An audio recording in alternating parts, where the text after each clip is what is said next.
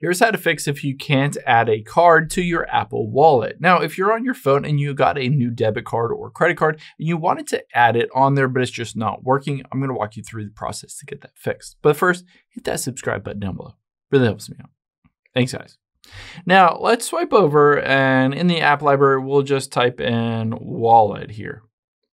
Now, the normal process is you can tap on the plus at the top right here and it says add to wallet. The first thing to keep in mind is not every single card is eligible to be added on here. So you can see debit or credit card, transit card, or driver's license. Now, if you have a card that's like a Visa gift card or something like that, you'll have a hard time adding it on there, or if it's like a Starbucks rewards card or something. So keep in mind, you can always go in here and you can either choose to hold it next to the card, or you can hit enter details manually and manually enter in that card information.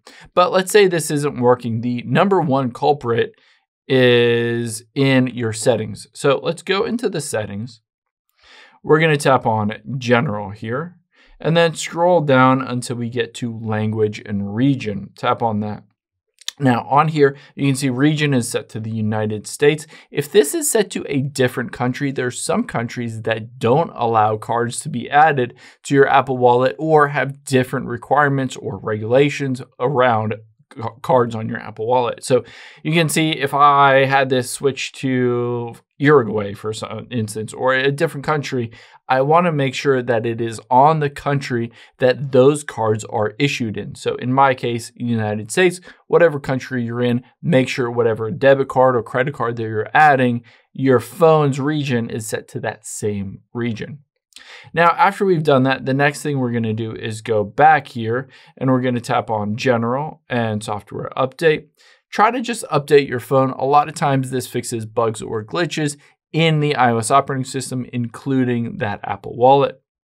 If that doesn't fix it, let's go back here and we'll just tap on shutdown at the very bottom. You'd be surprised how many times just turning off your phone might have been running for weeks or months without shutting down. And a lot of times over time, various bugs or glitches can crop up. So just turn off your phone and restart it. And a lot of times that fixes issues with adding those cards. Now, if that doesn't fix it, the next thing we'll do is go back here We'll scroll to the bottom and tap on Wallet and Apple Pay here. And then you'll be able to see all of the cards. So you might want to try to add it in here in the settings instead of going through the Apple Wallet. So just tap on Add and then debit or credit and continue and go through this process in the settings. For whatever reason, sometimes it works in the settings, but not in the wallet app itself.